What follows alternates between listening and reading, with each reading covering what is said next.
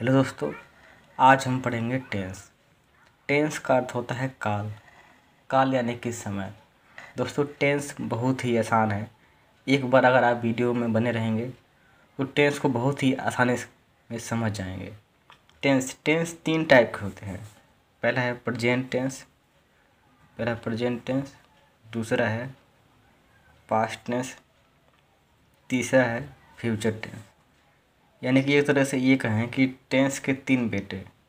पहला बेटा present tense दूसरा बेटा पास्ट टेंस तीसरा बेटा फ्यूचर टेंस प्रेजेंट टेंस का मतलब क्या होता है? प्रेजेंट का मतलब होता है वर्तमान। वर्तमान यानी कि जो अभी चल रहा है करेंट में। पास्ट पास्ट का मतलब होता है भूतकाल। भूतकाल यानी कि जो बीत गया, जो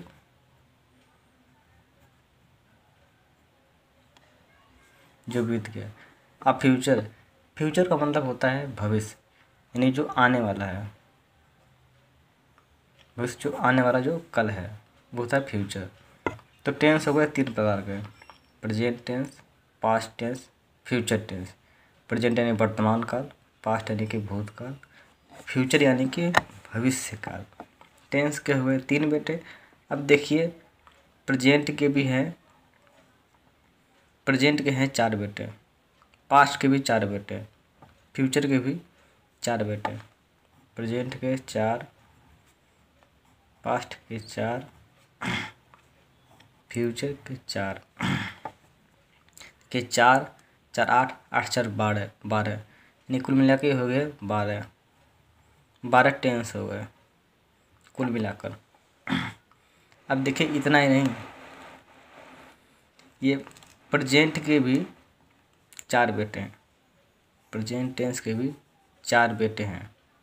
पहला बेटा का नाम है present indefinite tense. Present continuous tense. Present perfect tense. और चौथा और आखिरी है प्रजेंट परफेक्ट कंटिन्यूस टेंस। हम आगे के वीडियो सीरीज़ में सब का सब बारी बारी से सीखेंगे। तो देखिए प्रेजेंट टेंस के भी चार चार बेटे हैं। Present indefinite, present continuous present perfect present perfect continuous ऐसे ही पास्ट टेंस के भी चार चार बेटे हैं, फ्यूचर टेंस के भी चार चार बेटे ठीक है, अब हम इस वीडियो में सिर्फ़ प्रेजेंट इंडिफिनिट टेंस में झांकेंगे। अब देखिए, प्रेजेंट इंडिफिनिट टेंस में भी छः टाइप के सेंटेंस होते हैं। पहला अफर्मेटिव दूसरा नेगेटिव तीसरा इंट्रोगेटिव चौथा इंट्रोगेटिव नेगेटिव पांचवा है डब्ल्यू एच फैमिली छठा है डब्ल्यू एच फैमिली नेगेटिव यानी कि देखिए प्रेजेंट इंडिफिनिट में भी छः टाइप के सेंटेंस है। समझ गए? देखिए टेंस के थे तीन बेटे present tense past tense future tense और प्रेजेंट टेंस के थे चार बेटे present indefinite present continuous present perfect present perfect continuous और देखिए ये प्रेजेंट इंडिफिनिट के भी हुए छः। प्रेजेंट इंडिफिनिट के मान लीजिए छः बेटे। प्रेजेंट इंडिफिनिट के मान लेते हैं छः बेटा। पहला बेटा अफर्मेटिव दूसरा नेगेटिव तीसरा इंट्रोगेटिव नेगेटिव चौथा इंट्रोगेटिव नेगेटिव पाँचवा डब्ल्यू छठा डब्ल्यू फैमिली यानी कि प्रेजेंट इंडिफिनिट के छः प्रकार का सेंटेंस है। कुल मिलाकर देखा जाए तो टेंस होते हैं छः बारह छः बहत्तर। बहत्तर प्रकार के टेंस होते हैं। समझिए कैसे बहत्तर हो गया? ये देखिए। टेंस टेंस के तीन बेटे, प्रेजेंट, पास्ट, फ्यूचर। प्रेजेंट के चार चार। चार चार, आठ आठ, चार, बारह, यानी बारह हो गए। अब बारह के भी छः छः प्रकार के सेंटेंस होते हैं, यानी बारह छः बहत्तर। तो हम बारी बारी करके बहत्तर प्रकार के सेंटेंस और नियम को जानेंगे। बहुत ही आसान शब्दों में, और अगर आप एक बार हमारी वीडियो को देख लेते हैं तो दूसरी बार देखने की ज़रूरत नहीं पड़ेगी। तो आते हैं पहला, present indefinite tense present indefinite tense जो सबसे पहला वाला है, वो देखते हैं। प्रेजेंट इंडिफिनिट टेंस में भी सबसे पहला देखते हैं अफर्मेटिव सेंटेंस अफर्मेटिव यानी कि एक तरीके से ये कहा जाए कि ये रूल नंबर फ़र्स्ट जो बहत्तर होते हैं, बहत्तर में से पहला वाला, बहत्तर में से पहला वाला अफर्मेटिव सेंटेंस है। तो सबसे पहले तो टेंस पढ़ने से पहले हम जानते हैं पहचान। पहचान जानना बहुत ज़रूरी है क्योंकि टेंस होते हैं बहत्तर प्रकार के। तो जब तक हम पहचान नहीं जानेंगे, तब तक उसकी अंग्रेज़ी कैसे बनाएँगे? तो पहचान जानना सबसे इम्पोर्टेंट होता है। तो पहला प्रजेंट इंडिफिनिट टेंस का अफर्मेटिव सेंटेंस का पहचान देखते हैं। देखिए पहचान क्या है। वाक्य के अंत में ता, ते, ती के साथ है, हो, हु आदि आता है। एग्ज़ाम्पल के तौर पर राम जाता है। देखिए क्या है। वाक्य के अंत में ता, ते, ती आता है। देखिए, तारा ना ये ता आ रहा है ते आ रहा है। ता, ते, ती के साथ है, हो, हु, आदि भी आता है। देखिए, है भी आ रहा है और हु भी आता है। आगे हम सेंटेंसों में करेंगे, समझ लीजिए। इतना ही। जैसे राम जाता है या या सीता जाती है है। या मैं जाता हूँ, देखिए, हूँ अगर मैं जाता हूँ, राजू, तुम जाते हो, राजू जाता है। इसमें ता आता है और है आता है। अगर ये आता है तो हम पहचान लेंगे कि प्रजेंट इंडिफिनिट टेंस का अफर्मेटिव सेंटेंस है और चलिए देखते हैं नियम कि ये कैसे बनेगा। तो देखिए नियम देखते हैं। नियम में सबसे पहले बनाएँगे सब्जेक्ट सब्जेक्ट यानी कि कर्ता की अंग्रेज़ी। फिर वर्ब वर्ब की पहली फॉर्म देखिए, एक लिखा यानी कि वर्ब की पहली फॉर्म लगाते हैं। वर्ब का मतलब होता है क्रिया। क्रिया जैसे कि खाना, पीना, दौड़ना, हंसना, इसको कहते हैं क्रिया। और इसके लास्ट में यस और ई एस लगा देंगे। अभी ये देखते हैं कि कहाँ पे यस लगता है और कहाँ पे ई एस लगता है। जैसे देखिए, वह खाता है। क्या है? वह खाता है।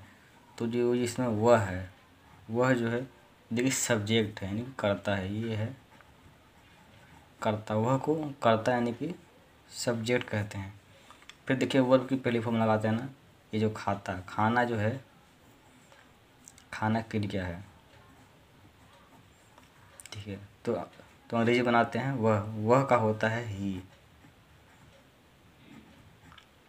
अब इसका आगे के लिए हम ये नियम देख लेते हैं। ये नियम क्या है देखिए, अगर ही है, सी है, इट है, या नेम है, या एक वचन है तो क्रिया में हम यस और ई एस लगाते हैं। यस या ई एस लगाते हैं। अगर आई है वी है यू है, दे है या बहुवचन है तो यस या ई एस नहीं लगाते हैं। बिना यस या ई एस के सेंटेंस पूरा हो जाता है। अभी देखते हैं।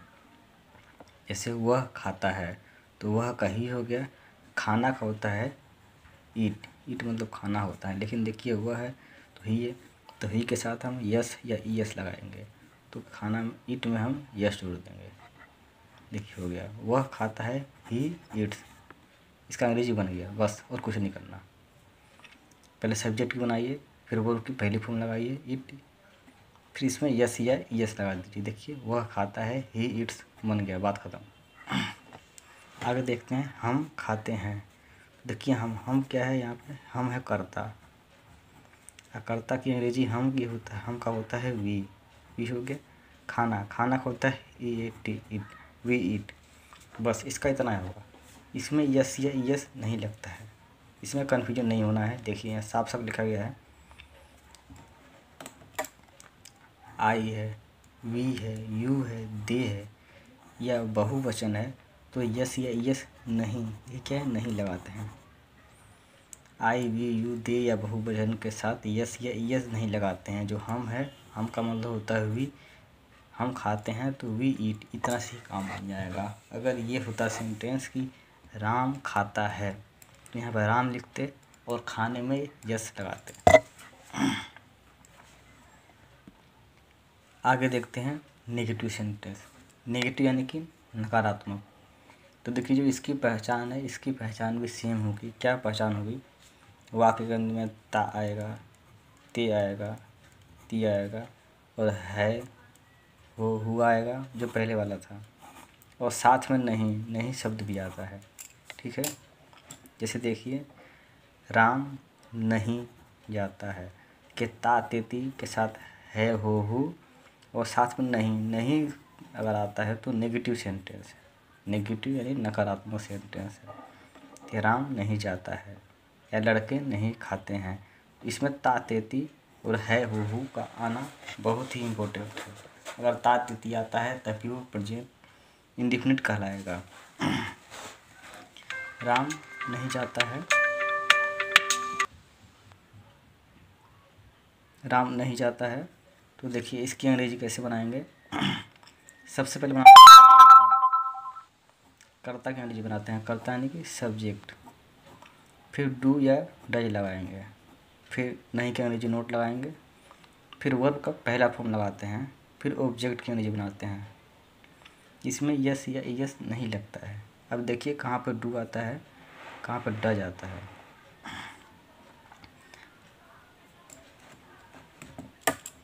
अगर ही है सी है इट है, या नाम है, या एक वचन है, एक वचन का मतलब हो गया लड़का लड़का जाता है। या लड़की खाती है, एक वचन हो गया। इसके साथ हम डज नोट लगाएँगे। क्या लगाएँगे? Does not. देखिए, अगर आई है, वी है, यू है, दे है, या बहुवचन के साथ हम डू नोट लगाते हैं। आई का मतलब होता है मैं, वी का मतलब होता है हम, यू का मतलब तुम, दे का मतलब वे। या बहुवचन जैसे हो गया, लड़के लड़कियाँ लड़कियाँ खाती हैं, लड़के जाते हैं, लड़के सोते हैं। तो ये क्या है? बहुवचन है। बहुवचन के साथ हम डू नोट का यूज़ करते हैं और एक वचन के साथ हम डज नोट का यूज़ करते हैं। तो नियम देखिए, पहले कर्ता अंग्रेज़ी बनाएँगे।